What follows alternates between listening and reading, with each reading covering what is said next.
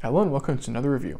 This is a bit of an unconventional review, as the model I'll be showing you guys today is an official 12 volt set, but rather a build from the Ideas book 7777. I bought almost all the parts a few months ago, and today the last few pieces came in, so I'm super excited to finally showcase this legendary steam engine to you. Okay, let's back up. What is 7777? It's an official LEGO 4.5 volt slash 12 volt Ideas book from 1981 at the beginning of the gray era.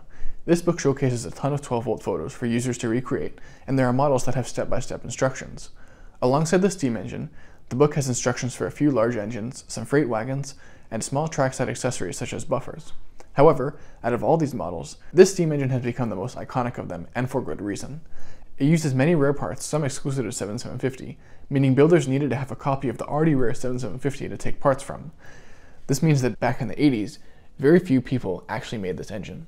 Today, it's rare to see this engine, since most people prefer to keep their copies of 7750 together. I'll explain more about how I got this engine later in the video. First though, I'll show you the details of the train and compare it to 7750. So here are the two legendary steam engines side by side, 7750 and 7777. So of course 7750 is the one with the stickers here, and then 7777 is this one, the larger one. Uh, I'll walk you through all the similarities and differences between these two engines, as well as reviewing uh, 7777 because I never showcased this on my channel before. So I'll start with what is, in my opinion, the most unique feature about 7777, the articulated wheelbase. So first I'll go with 7750, which is kind of the baseline here because this is the official 12 volt set.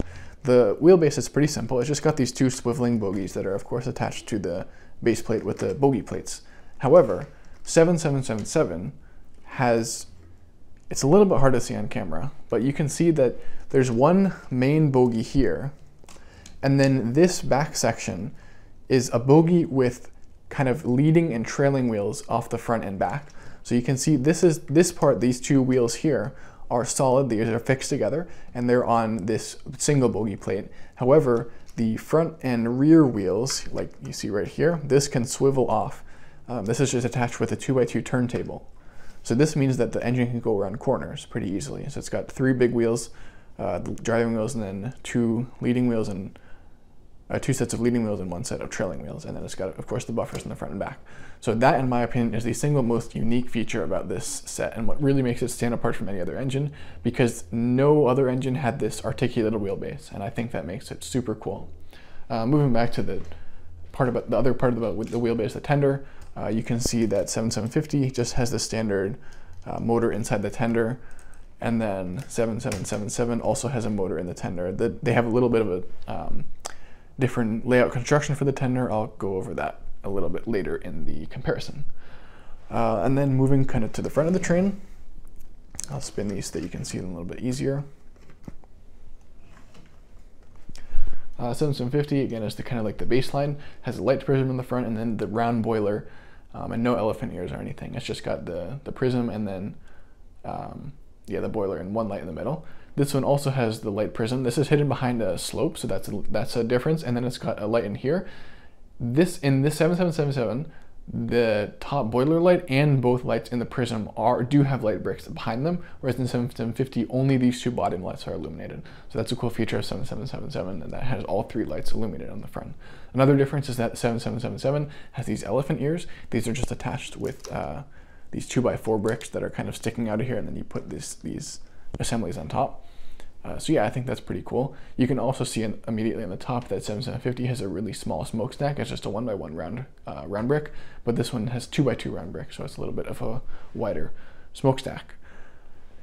Moving back a little bit to the boiler kind of construction of the engines. Again, you can see the articulating wheelbase kind of when I move the train. It's kind of hard to align all the wheels correctly if it's not on the track. So moving back to the boiler, 7750 has a very solid boiler. You can see it's got these blocks on the side and a real steam engine. I think these would be like walkways for people to uh, do maintenance on or, any, or something like that. Uh, it's got these very solid blocks on the sides, and then it's got uh, yeah the standard slopes on the top, and then hoses, and then like steam domes as well. 7777. Uh, I like what I like about this boiler is that it of course kept the hoses from 7750 uh, these are the exact same hoses. These, these specific ones are actually originally from a copy of 7750. Um, so yeah, it's got like kind of blocks in the sides as well, but these are just, these are not um, protruding from the boiler like the ones in 7750 are.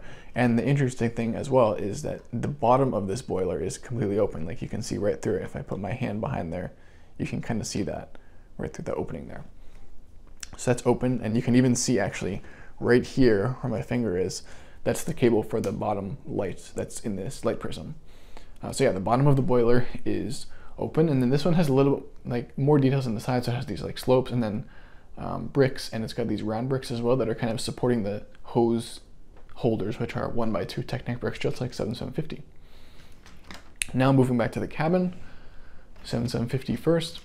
Uh, this is a closed cabin, so it doesn't have an opening in the back, but it does have these opening doors, which I, actually like this detail. Then it's got some levers inside and a removable roof. Uh, so yeah, it's a pretty pretty standard cabin. And then 7777, it doesn't have the the doors on the sides. Instead, the back of the cabin is just open. You can see the minifigure in there. Um, another difference is the kind of the oh, and then 777 I should also mention doesn't have a roof that just opens on top of tiles like that. Another difference that I, that I should mention is the kind of window arrangement. So 7750, if I bring this a little bit closer, you can see it's got two of the narrow windows in back, two of the wide, and then one wide window on each side, and then another two narrow windows in the front here. It's a little bit hard to see. The narrow windows are, of course, a lot rarer than the wider ones. So in total, it's got four narrow windows and two wide ones. 7777, on the other hand, has only two of the narrow ones. You can see a little bit here in the front, um, but it has four wide ones. So two on each side. Uh, so in total, 7750 has more like more value in terms of windows because it's got four of the rare ones and two of the more common ones. This one has two of the rare ones and four of the more common ones. So just the difference if you're building it. One reason why this, in theory, should be a little bit cheaper than 7750.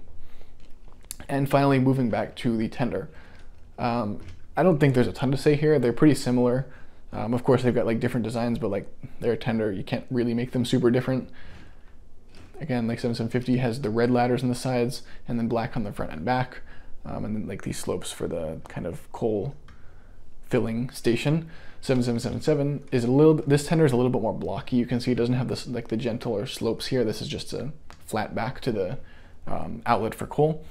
And then, yeah, it doesn't have ladders in the front and back like 7750 does, but it does have these nice, these lad the ladders here are um, I guess, decoration or for a fireman to go up and refill the engine with coal. Um, and then there's also a little platform here for you can put it. You can probably put a second minifigure here standing. So yeah, those are. I think that's pretty much everything about these two engines that I wanted to mention. Oh yeah, of course, 7750 also has stickers because uh, it's an actual set. This one does not have stickers and to my knowledge, they never made any official stickers for 7777. Uh, so yeah, that's the comparison between these two engines. Um, and now I'm going to explain the pricing, my opinion, and uh, and the video on this nice steam engine. Pricing for this model is not so straightforward, since this isn't an official set.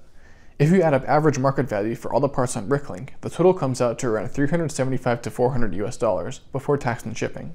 The common parts such as basic bricks and slopes are cheap, but as I mentioned, there are some extremely rare parts as well, such as the red motor, big red wheels, red bogie plates, and black windows.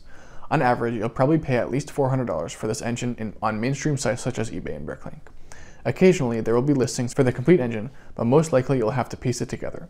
I bought all of the parts individually for mine, see this video, and in total ended up paying around $450, including tax and shipping. That was with the red motor I paid nothing for, since I fixed my broken one. Overall, I think the steam engine is truly deserving of its cult status, just like 7750. It has a slew of 12 volt air exclusive parts and is the longest 12 volt steam engine. The articulated wheelbase is super unique. While I do love this engine, I wouldn't recommend it to a new 12 volt collector, since acquiring all the parts means you'll have to scour Bricklink and place many orders, easier to just get a complete set. However, once you have some experience with 12 volt trains and you're interested in this engine, I would definitely say go for it. Just like 7750, it can easily pull freight or passenger wagons and is certainly an impressive engine on any layout. That concludes my review and comparison of the 7777 steam engine. Thanks for watching. This engine will be featured in Layout 15. I've cleaned off my table and will be working on constructing the layout very soon. Also, a very special thanks to Gabriel C., my first channel member. Some of you may have noticed that it launched channel memberships. I'll make a standalone video on that shortly. See you in the next one.